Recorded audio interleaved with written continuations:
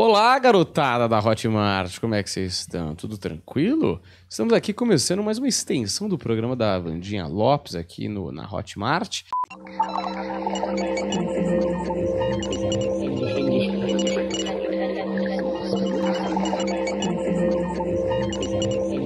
A psicografia é legal? Ela é. Eu parei. Porque eu tô de seis anos pra cá sem tempo pra nada. Vamos por aí, nove anos, né? Na verdade, são nove anos. Desde 2014 pra cá, minha vida é uma correria. Então, o que é na minha ossada, eu faço. É, a psicografia, muitos falam, Vandinha, faz de novo.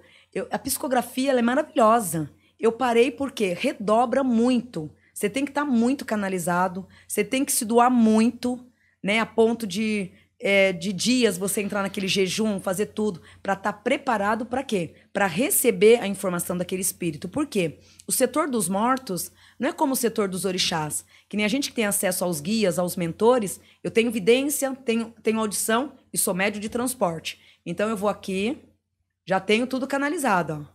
vou embora. Então eu já tenho acesso livre ao meu povo. Então eu sou da tribo. Agora, para entrar no canal dos mortos, você tem que ter primeiro assim uma sorte muito grande, porque de repente você vai ficar numa fila ali, né, para receber uma psicografia de, um, de, uma, de, de uma alma que se foi, e de repente quando chega a sua hora de receber a psicografia, olha, ele falou só isso, isso, isso. Porque pode ser que não esteja autorizado, pode ser que aquele dia aquela alma não está disposta, ou não está tendo a liberação perante o plano espiritual de dar informação. Então tem tudo isso. É um setor que não é qualquer hora que a gente entra. Você vê que Chico Xavier, ele se dedicava só a isso. Então, Chico, ele, a vida dele era meditar, é, rezar o tempo inteiro, a meditação o tempo inteiro, para que no dia seguinte aquele povo todo que estava ali pudesse ser bem recebido. Então, o Chico, ele se doou de 100% à vida do mundo espiritual. Uhum. Né, que é o, é o que cobra a psicografia. Então, ser um médium de psicografia acaba todos nós podemos, podendo ser mas tem que se redobrar muito, porque o setor dos mortos não é para qualquer um. E a, permissão é deles, aonde eles orientam a hora.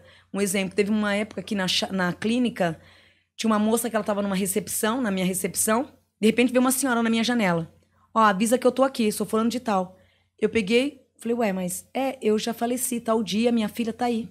Fala para ela que eu preciso falar com ela.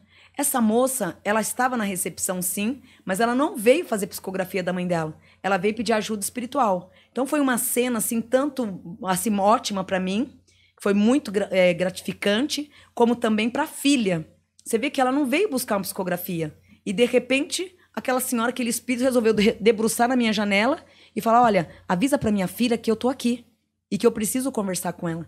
Aí, onde deu o nome, eu abri a minha porta e falei: é, tem fulano de tal, você conhece fulano? Minha mãe, mas ela faleceu. Falei, então, tem como você vir na minha sala?